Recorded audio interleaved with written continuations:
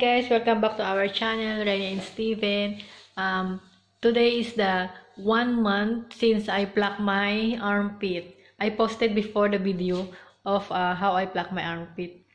Usually guys, I don't use any deodorant or whatsoever na pampaputi. Uh, what I'm do, what I did was, uh, when I'm taking a shower, I see to it that I soak it with the Dove, the white one, the Dove soap the regular one, the white color. And then I soak it for 5 minutes. Later, I show you guys kung how it looks like. Uh, but I need to pluck it again because there's a lot of hair. Ito siya guys. Hindi ko pa siya na kita ba yung mga buhok. Ayan o, oh, ang dami niya. Oh.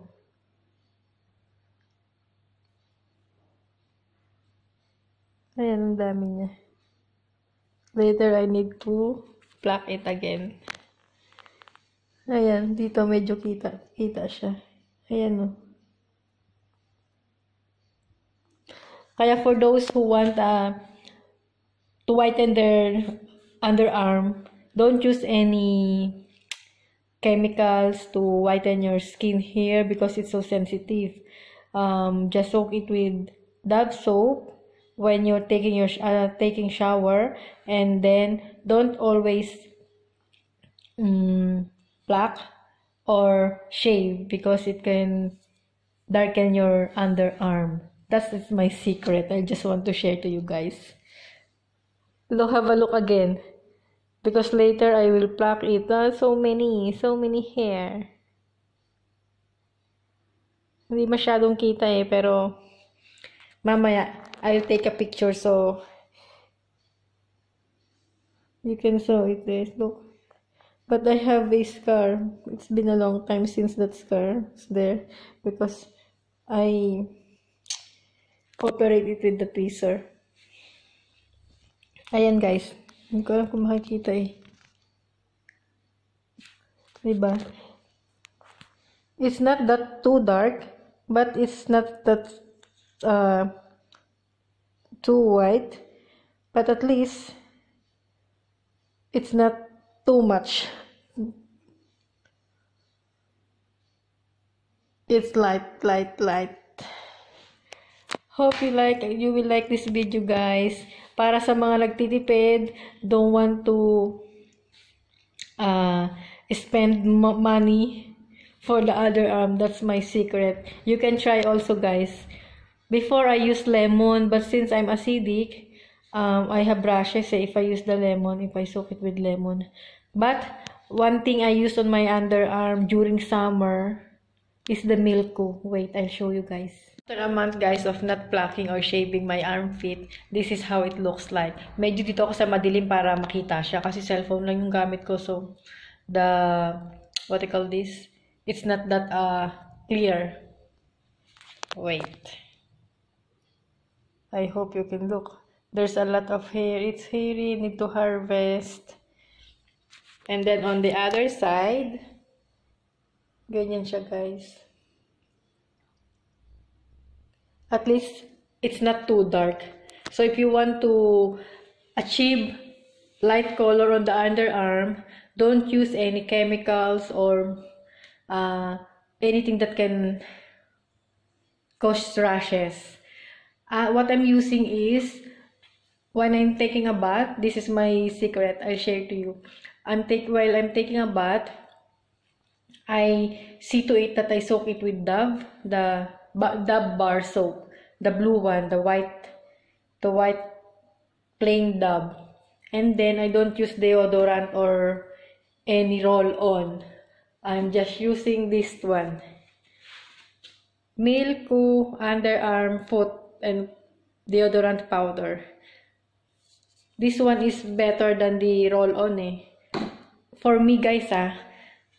But I don't know if your, your skin type or what.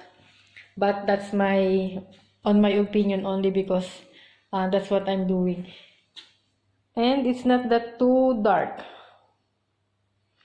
Later guys, I will pluck it again. After a month ah, because before I post a video right, and then now I'm I didn't pluck it for a month. So this is how it looks like. Not too disaster, but uh, not too dark, but at, le at least it is light, light underarm. Thank you for watching guys. Hope you will like this video. Eto guys, after a month, I will pluck my armpit again, hair under armpit. This is the same, the same scenario as last what, uh, last month. I just pluck it once a month. Here we are, harvest time. I'll show you guys. Uh. I don't know if it's visible or not, if like this one.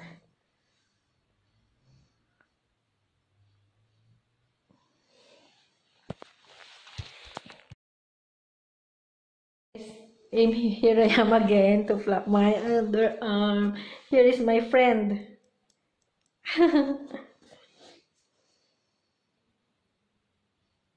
Look. I don't know if you can see it. Eh?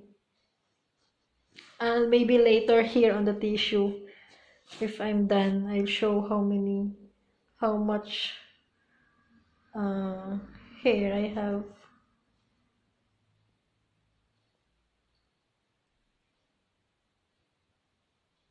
I'll do it only once a month.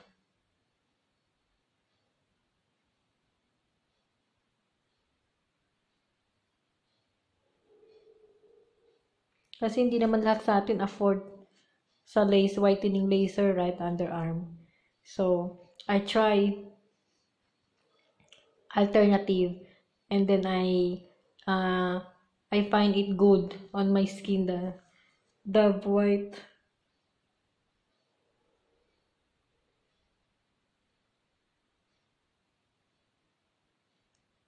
it's not that expensive.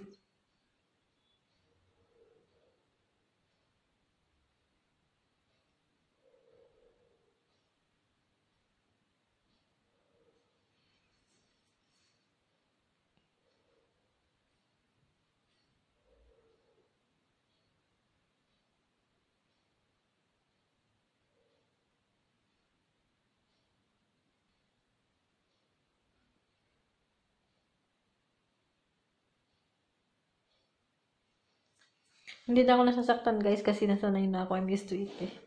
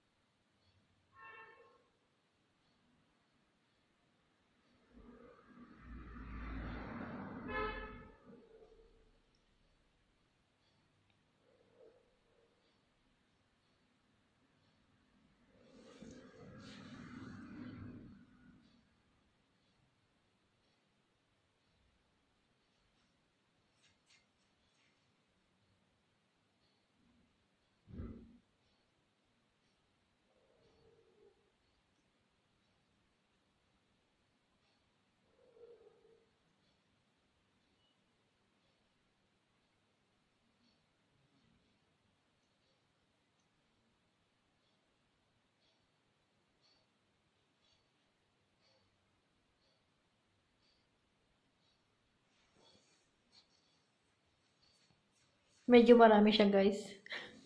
There's a lot of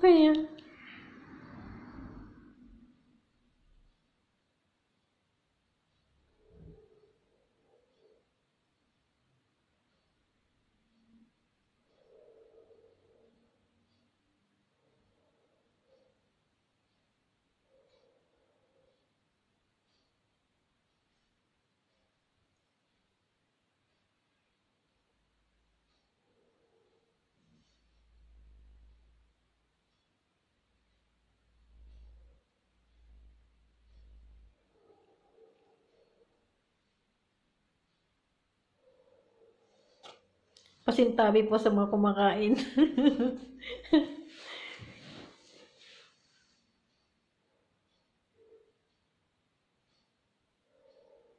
Kasi 'di ba tayo, we want light underarm. Siyempre, during summer, need mag sleeveless, something like that.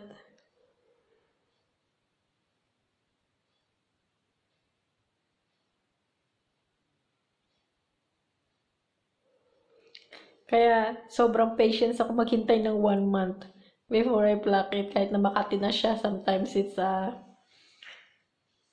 it's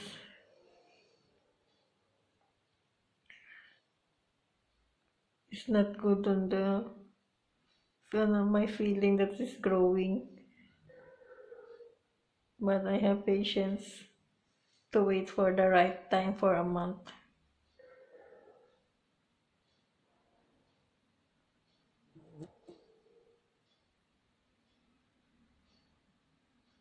And guys, pag nag-pluck ka, ah, hindi siya masyadong mabilis tumubo. Matagal siya bago tumubo. Not unlike if you shave it after few days, there's a lot of hair na.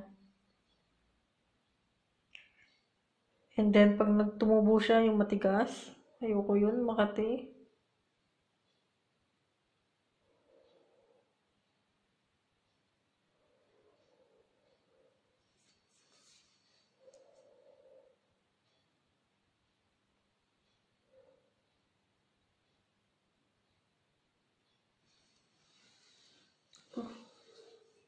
Hindi ko na makita yung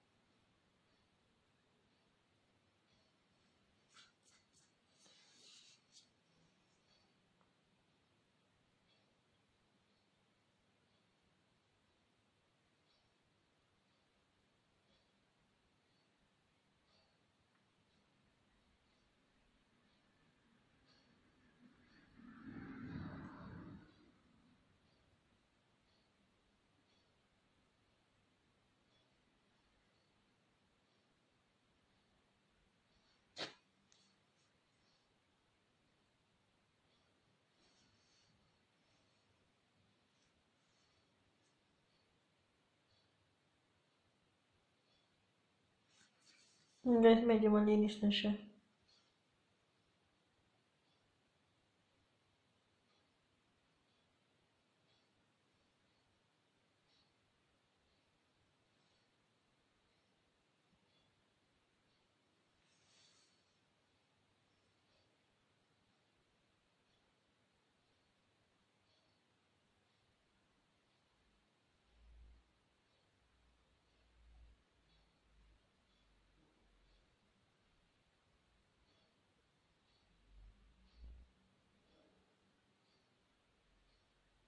It's a nice feeling after I pluck it.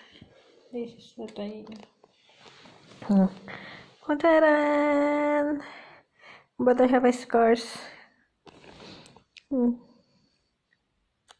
Ayan yung mga nakuha ko guys sa left underarm. And then now we go on the right side. Dahil sa right side. Mag-pluck. Mas maraming hair dito sa right side than on the left side.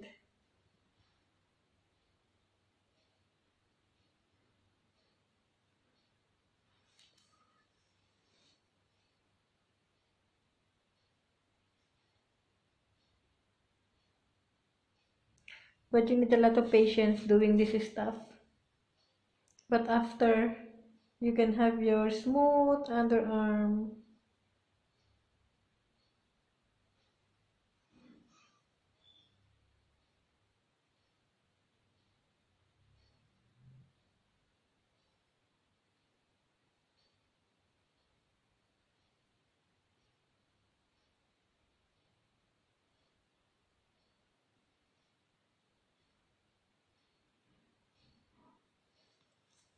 Medyo marami dito guys sa kabilang side.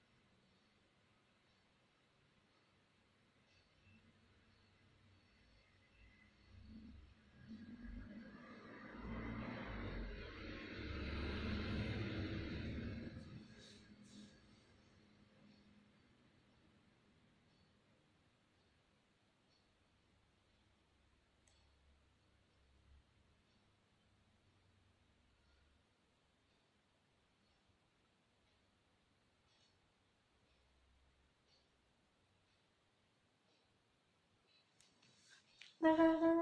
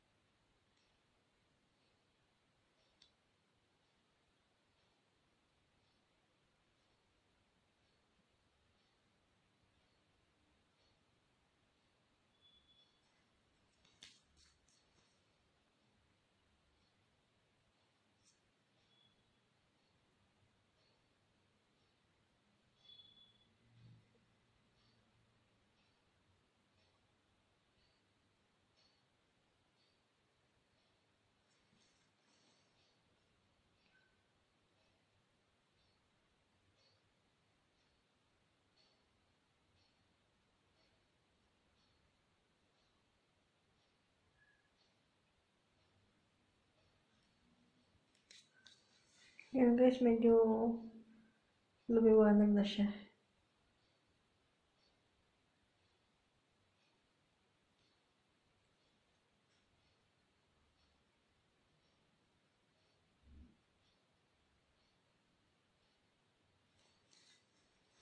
It's a nice feeling after you finish plucking. It's so smooth.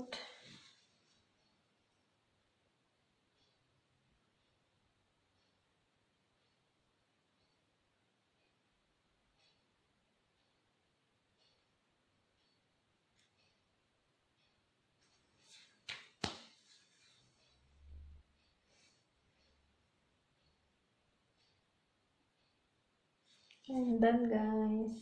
Ang kinis niya oh. Ang kinis. Ang sarap hibuhin. Not like if you uh, shave it, it's so rough.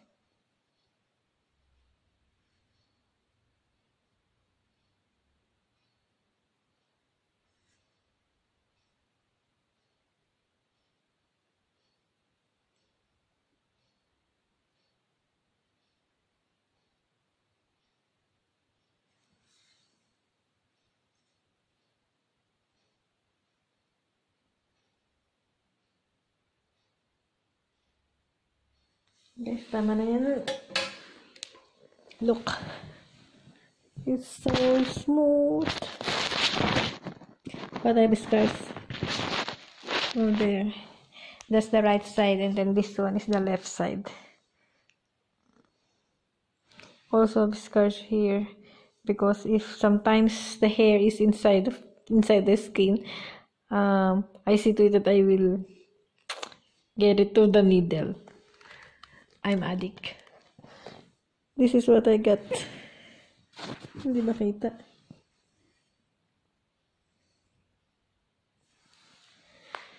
Thank you for watching guys. Hope makatulong sa mga nagtitipid, sa mga walang pambili. But at least we can achieve light underarm. Till our next video guys. God bless. Please don't forget to like and subscribe.